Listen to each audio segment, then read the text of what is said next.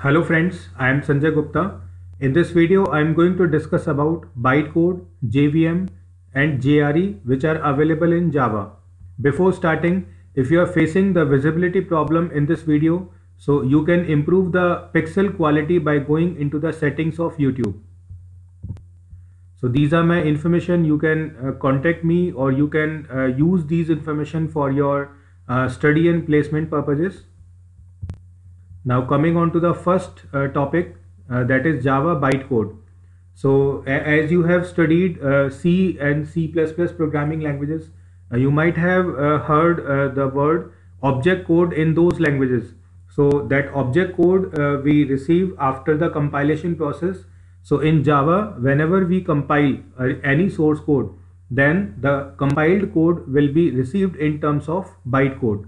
So the programmer uses the command javac to compile a Java program uh, which you can write like this javac then name of uh, Java file and then extension of Java dot Java.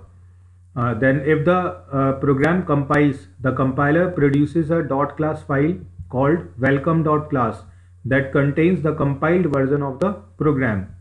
The Java compiler translates the Java source code into bytecodes uh, means dot class file. So bytecodes are executed by the Java virtual machine. So you can say that bytecode is the compiled version of Java source code. Then if we want to execute Java bytecode, then we need Java virtual machine. Now a virtual machine is a software application that simulates a computer but hides the underlying operating system and hardware from the programs that interacts with the virtual machine. So bytecodes are platform independent instructions means we can implement a bytecode on any environment and we can run it on any other environment. So Java's bytecode are portable that is the same bytecode can execute on any platform containing a JVM that understands the version of Java in which the bytecodes were compiled. So this is all about bytecode. So in short, you can say that when we compile any source code, the outcome will be bytecode and the extension of bytecode is dot class. Now another uh, uh, topic is virtual machine. So uh, it is known as Java virtual machine. In short, we can say JVM. So JVM is an abstract machine. It is a specification that provides runtime environment in which Java bytecode can be executed. So JVM is responsible for execution of Java bytecode. JVM are available for many hardware and software platforms.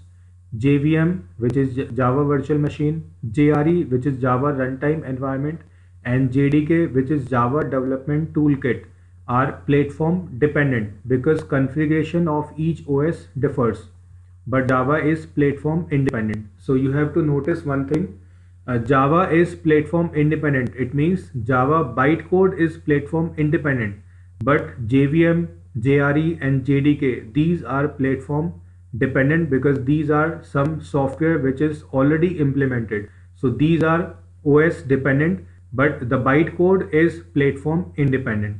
So you have to remember these uh, this difference because uh, this question sometime will be asked in your Viva and uh, interviews so you have to remember this difference.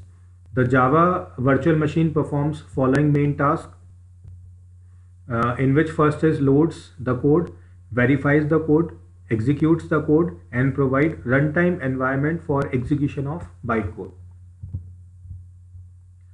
Now another uh, heading is JRE which stands for Java Runtime Environment so Java runtime environment contains JVM, class libraries and other supporting files. So here you can see that JVM is the part of JRE. So JRE has uh, some library files which are already available and other supporting files which are already available with it. It does not contain any development tools such as compiler and debugger. Actually JVM runs the program and it uses the class libraries and other supporting files provided in JRE. So if you want to run any Java program, you need to have JRE installed in the system. So this is the prerequisite for your uh, system. So if you want to run any Java program, then uh, you must ensure that JRE is available in your system. So I hope you might have understood about the bytecode, JVM and JRE. So uh, remember these things for your uh, placement purposes. You can also uh, note down these information. Uh, thank you for watching this video.